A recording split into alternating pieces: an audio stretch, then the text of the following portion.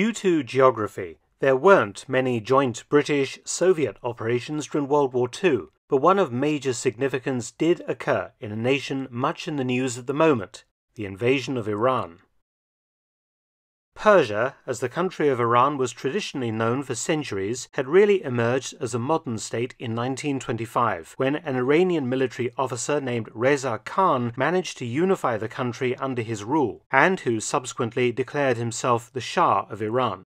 A Shah being equivalent to an emperor, and Iran the name used by locals for the territory of Persia. The previous royal dynasty had left Iran weak, divided, and poor, and Reza Shah began an ambitious program of industrialization and military and cultural modernizations. He built schools and infrastructure, modernized the ancient cities, and knitted Iran together with road and railway networks. Importantly, on the international stage, Reza Shah kept Iran neutral, but also maintained fairly friendly relations with the Western powers, powers that provided the loans he needed to modernize Iran. Britain in particular had substantial financial interests in Iran and the wider Middle East, and owned the Anglo Iranian Oil Company and its strategically important Abadan refinery. This oil vital to the Royal Navy's huge fleet of oil-fired warships and also to the wider British economy and after September 1939 to the Allied war effort against Nazi Germany. The Germans also knew the value of Iranian oil to the war effort, and by 1940, British Empire forces were fighting Germany's ally, Italy, in North Africa and also in East Africa. The French colonies in the Middle East supported the collaborationist Vichy regime following France's capitulation in summer 1940, a threat to the British position in Palestine and the eastern Mediterranean. The fear was German access to the Persian Gulf. Iran bordered the Soviet Union to the north, and Stalin's non aggression pact with Hitler further alarmed the British. Iran also bordered Iraq, a de facto part of the British Empire, but somewhere with a strong pro Nazi camp that would, in early 1941, actually overthrow the Prince Regent, Prince Abdal Illah, and form an outright pro Nazi government. Relations between Reza Shah and the British had been rocky on and off, in the 1930s, Reza had accused the Anglo Iranian Oil Company of financial malpractices that had hurt Iranians, leaving it with only 16% of the net profit from the nation's oil industry. He had won some concessions from the company, but the negotiations had left the British with the impression that Reza was hostile to its own oil interests. With the German invasion of the Soviet Union in June 1941, the USSR joined Britain as an ally. By now, Rommel's Afrika Korps had begun a series of stunning victories with the Italians in North Africa, with the intention of occupying Egypt, cutting the Suez Canal, and joining up with Hitler's forces in the Soviet Union that were pushing into the Caucasus, and perhaps were headed for Iran and eventually the Persian Gulf. The Western Allies were very busy supplying Stalin with lend lease material, military equipment, and supplies to keep him in the war, and the easiest way was to send it through the so called Persian Corridor via the Trans Iranian Railway. The railway now became an extremely important focus point for the Allies. It had to be maintained at all costs, and leaving it in Reza Shah's hands seemed unwise. The other way the Soviet Union was being supplied was by the Arctic convoys, but these were, of course, very vulnerable to U boat attacks. In Iraq, the short lived pro Nazi government had been crushed during the short war between Iraq and the British in May 1941, that had seen the re imposition of a pro British government in Baghdad. Iran now began to experience anti British demonstrations in Tehran as Britain and the USSR pressured the Iranian government over the vital railway link. Iran's geographical position threatened both Allied nations. The British, because if a German force managed to invade Iran by advancing southeast from the Caucasus, British communications between India and the Mediterranean would be threatened, not to mention the oil supplies. Stalin was concerned about a German advance into Iran threatening the Soviet Caucasus oil fields and the rear of his armies trying to fend off the Germans.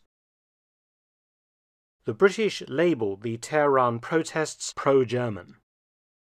Between July and August 1941, the British demanded that Reza Shah throw out all German nationals in Iran, up to 3,000 people, which the Shah refused to do. This was because many Germans were vital workers in Iran's transportation and communications networks. Reza Shah still wanted to remain neutral, but because of the recent Anglo Iraq War, large British military forces sat just across the border, the decision was taken by Britain and the Soviet Union to jointly invade Iran to topple Reza Shah's government and put someone more amenable to Allied interests in charge, thereby securing Stalin's supply conduit to the British and still neutral Americans, and securing the oil for the Allies. It was a classic example of regime change, something we have all become familiar with in recent times.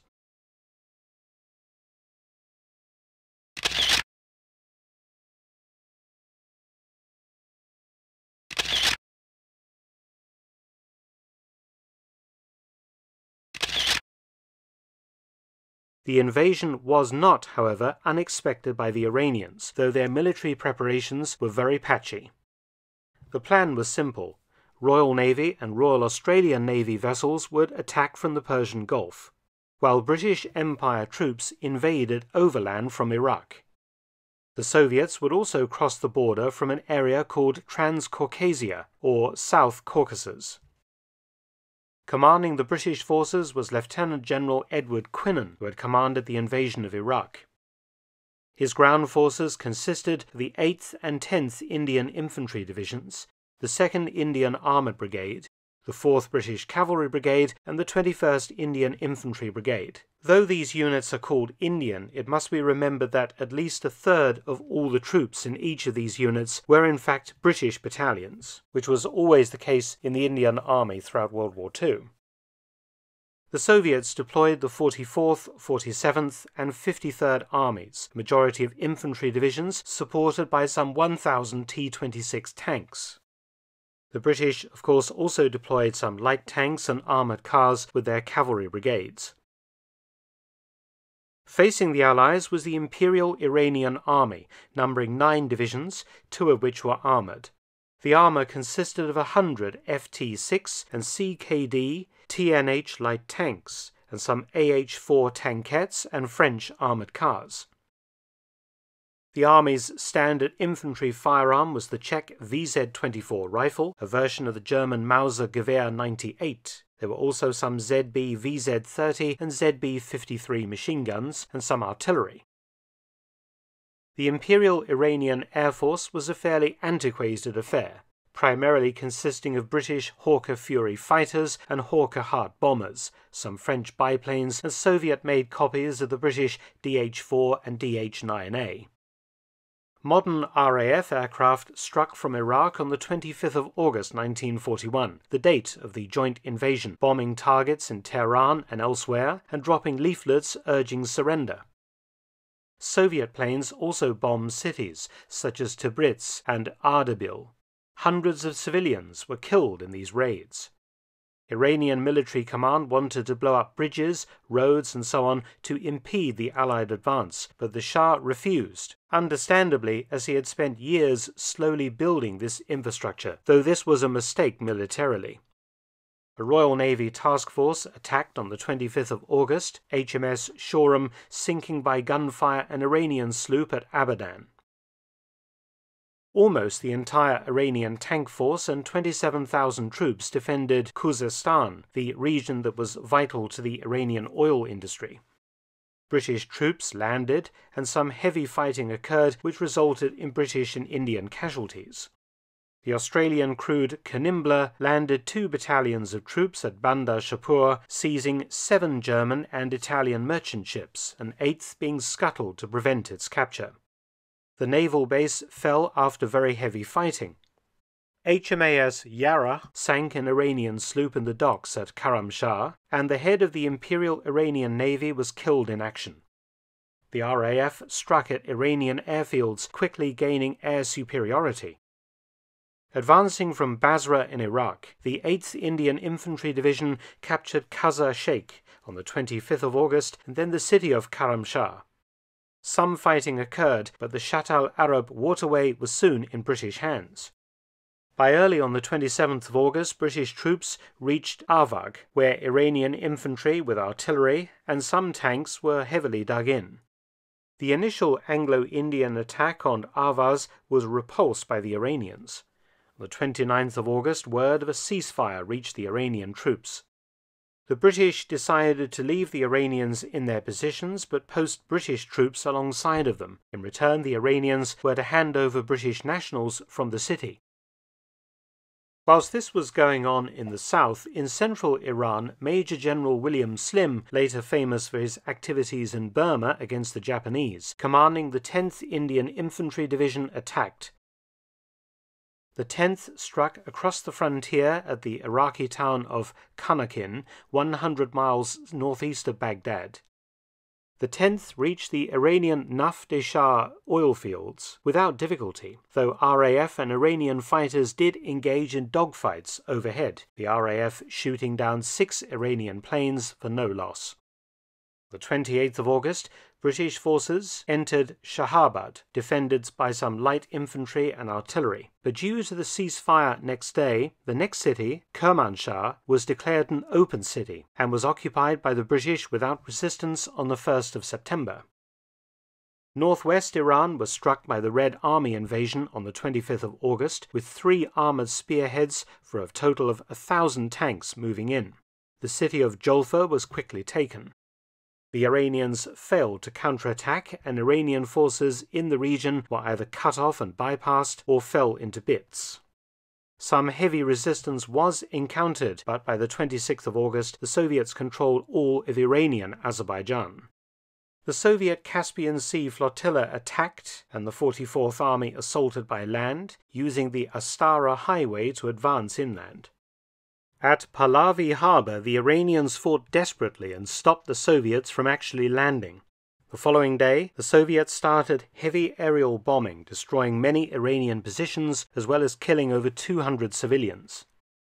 The Iranian defenses were certainly very stiff, and the Soviets took significant casualties getting through them, but without tanks and aircraft, the outcome for the Iranians was inevitable, and most surrendered on the 28th of August. Simultaneously, a second Soviet attack occurred from Iranian Azerbaijan, moving south. The 47th Army captured Dilman and then Urmia. Meanwhile, the 53rd Army moved south, eventually moving on Tehran on the 28th of August. On the 29th, Soviet armored spearheads reached Kazvin, 94 miles from the Iranian capital, then took Saveh and Qom south of Tehran, cutting the country in two. Following the ceasefire, the Red Army entered Tehran, declared an open city on the 30th of August. The last Soviet operation of the 25th of August was in northeastern Iran, invading from Soviet Turkmenistan. The Soviet invasion there was completely successful. By the 29th of August 1941, Iran was in chaos. The royal family, except the Shah and the Crown Prince, had fled from Tehran. The relatively easy collapse of the carefully built up Imperial Iranian army was a national humiliation. The Shah was so incensed by the army's poor performance that he physically assaulted the head of the army and demoted him on the spot. The Shah blamed his Prime Minister, Ali Mansur, for the disaster and forced his resignation. The new Prime Minister, Muhammad Ali Foroughi, told the British that the Iranians wanted to be liberated from the Shah's rule. The British demanded that in return for Allied withdrawal from the country, the Shah had to agree to hand over all German and Axis nationals, including their families, to the British and the Soviets, the latter, of course, to probable maltreatment. Reza Shah delayed this action long enough that most of the German nationals managed to escape to neutral Turkey instead. In response to the Shah's actions, Stalin ordered the full occupation of Tehran, triggering a wave of refugees from the city, including all of those with any money. Reza Shah announced his abdication on the 17th of September as the Red Army began to move into Tehran. The regime change part of the Allied plan was now enacted. The British favoured restoration of the previous royal dynasty to the throne, as they had largely done what the British had told them to do. But the problem was that the heir was a British citizen and couldn't even speak Persian. The decision was therefore taken to place Reza Shah's son, Crown Prince Mohammad Reza Pahlavi, on the throne as Shah. Reza Shah was arrested and died in South Africa in 1944. On the 17th of October 1941, the Allies withdrew from Tehran, and Britain and the USSR partitioned Iran between them until 1945, ensuring the Persian corridor remained open to supply the USSR with vital Lend Lease material.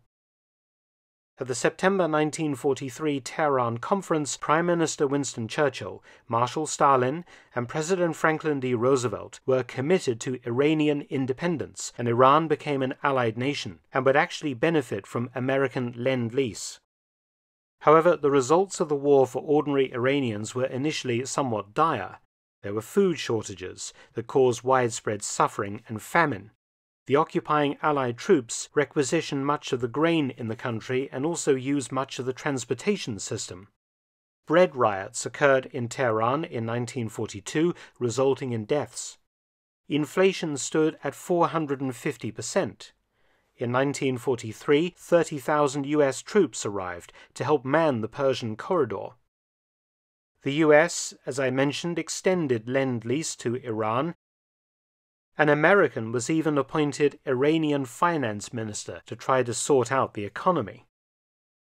In March 1946, the British began to withdraw from Iran, followed very reluctantly by the Soviet Union in May. Mohammad Reza Pahlavi ruled as Shah of Iran until 1979. In 1953, the Shah's democratically elected Prime Minister, Mohammad Mossadegh, was overthrown after he had nationalized the British owned oil industry in order to financially benefit his own country.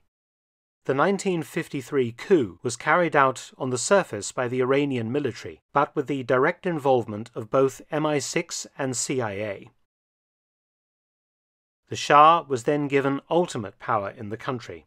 However, in 1979, the Islamic Revolution broke out in Iran, and the Shah fled into exile in Egypt, where he died in 1980 in Cairo at the age of 60. Since 1979, Iran has been ruled as the Islamic Republic of Iran. Many thanks for watching. Please subscribe and share, and also visit my audiobook channel, War Stories with Mark Felton. You can also help to support both of my channels at PayPal and Patreon, details in the description box below.